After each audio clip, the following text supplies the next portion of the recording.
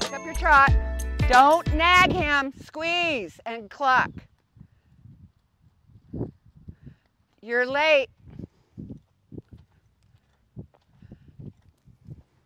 Do the circle. Keep him keep him going by bouncing your legs. Good. Right lead. Nope, that's left. Okay. Perfect. This is perfect. This is exactly what you're doing. You're overthinking it. Your feet are forward.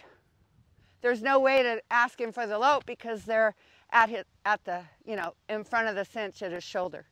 So I want you to try it again. Just from the, uh, Let me just go through the box Yeah. Don't nag. Squeeze and let go and then bounce in the rhythm of that trot.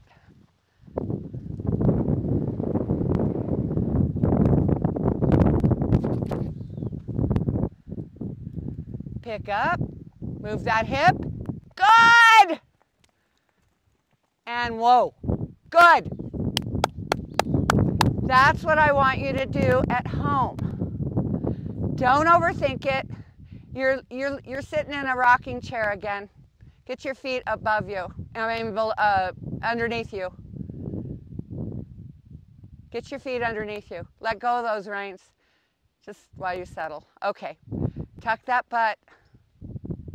Tuck the butt, not your back. Good. Sit up. Yep. Perfect. Okay. All right. Turn your toes out. Ask for the trot. We'll do it one more time.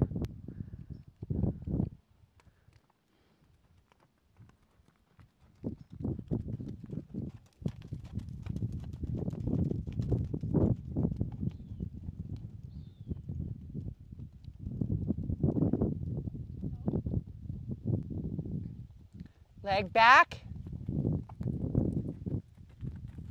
You got the wrong lead.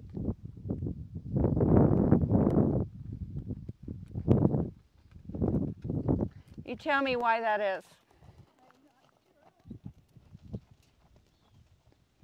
Tuck that butt, get off the cantle.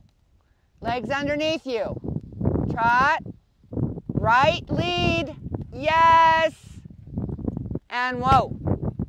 And back up. Remember, don't go in back of that horn.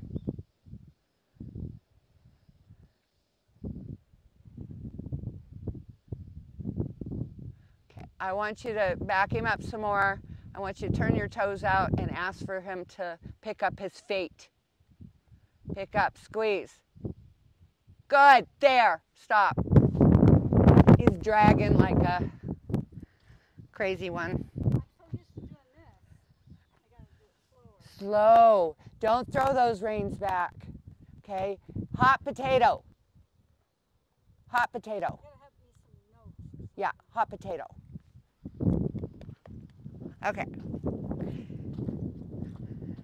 You want to practice the spin? Yeah. Okay.